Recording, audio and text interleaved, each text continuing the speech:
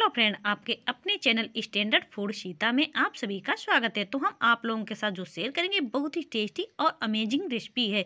बच्चे बड़े बहुत ही इसको प्यार से खाते हैं। अक्सर ठेले पे भाग भाग कर आप लोग इसको जाकर खाते होंगे। इतना ज़्यादा मज़ा आता है इसको बनाने में और बहुत ही आसान और सिंपल तरीके से जब घर पर बनाकर इसको खा सकते हैं तो ठेले पर क्यों जाना? तो इस तरीके से हम आप लोगों को बताएँगे, इतनी ट्रिक और टिप से हम समझाएँगे कि बिल्कुल यूनिक तरीके से ठेले से भी ज़्यादा अच्छी बनकर तैयार हो जाएगी। अब सबसे पहले यहाँ पर हमें आटा लेना है।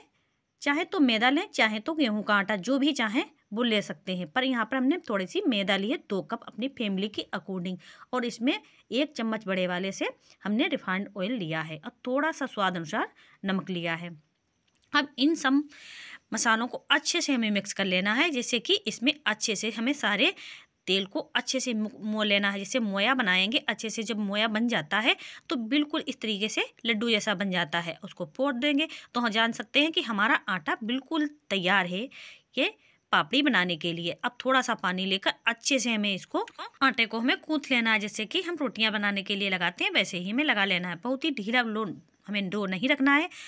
थोड़ा कसा ही रखना है। अब यहाँ पर हमने पेन में तेल गर्म हो रहा है। तब तक के लिए यहाँ पर हमें लोइयाँ बना लेनी है। लोइयाँ अपने हिसाब से बना सकते हैं। छोटी बड़ी जैसी भी आप बनाना साथ चाहते हैं। इस तरीके से लोइयाँ हमें बना लेनी है और बेलन से हमें बेल लेनी है। बहुत ही ना ज़्यादा मोटी होनी चाहिए, ना ही बहुत ज़्यादा पतली। और क्या है, जब हम पापड़ी बनाते हैं तो अक्सर पापड़ी फूल जाती हैं तो उसके लिए यहाँ पर हमने ये होल वाला चम्मच लिया है। इसकी मदद से अगर जब बनाएँगे तो पापड़ी बिल्कुल भी नहीं फूलेगी। और अब जब इस ट्रिक से बनाएँगे तो जिसको हफ्तों तक स्टोर करके रखेंगे, बिल्कुल हमारी पापड़ी नरम नहीं पड़ेगी। इस तरीके से हमें होल कर लेना है तो पापड़ी बिल्कुल भी नहीं फूलेगी। अब कोर वाली गिलास से इस तरीके से हमें कटिंग कर लेना। तो गोल बनाने की हमें ज़रूरत ही नहीं पड़ेगी। आराम से गोल गोल हमारी पापड़ी बनकर तैयार हो जाएँगी। अब इसको हमें निकाल लेना है। इसकी साइड को हमें निकाल देना है और तेल अच्छे से गर्म हो चुका रहा। उसी में हमें ये पापड़ी ट्रांसफ़र कर देनी है। धीमी आँच पर इसको हमें फ्राई कर लेना है। बिल्कुल भी नहीं देख सकते बिल्कुल नहीं फूलेगी और बहुत ही करारी बनकर तैयार होगी अब धीमी आँच पर इसको हमें फ्राई कर लेना है। अब पापड़ी का कलर बिल्कुल गोल्डन हो चुका है। इसको हमें निकाल लेना है।